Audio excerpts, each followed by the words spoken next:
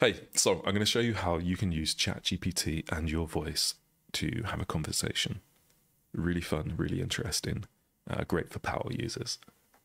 Two tips here. First one, install the extension, go to ChatGPT, uh, chat.openai.com, hit the model that you like, go into the options, set your language. If your language is not in here, get hold of me and I will add it.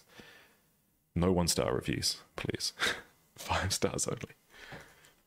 Click in the middle, anywhere apart from this text box. So if this text box, listen very carefully, if this text box is highlighted and we have the flashing cursor, it's going to do space bars, equal spaces.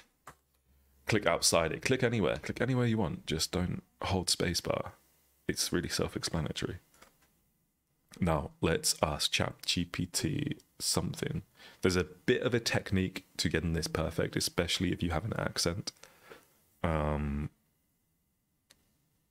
so, hold down the spacebar, speak carefully, calmly, collect your thoughts, and then at the end of it, when you're ready to finish, give a half a second pause before letting go of the spacebar. Easy. That's all it is. Um, and if you want to do it again, you can talk to it anytime. Hey, what is the capital of the Czech Republic? Great. And how many people live in Prague? Do you know how many are male and how many are female? What is the average ratio of male to female in Europe? Thank you so much.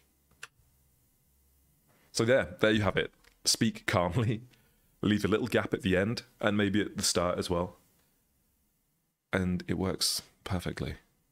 If you have any issues, get hold of me at doug at withseismic.com or on Twitter, Dougie Silkstone, or LinkedIn, same name. Just don't give me any more one star reviews, guys. It doesn't make me want to fix this. It just makes me want to tell you to fuck off. so, respectfully, here's how you fucking use a very simple extension. Thank you so much, and um, catch you later.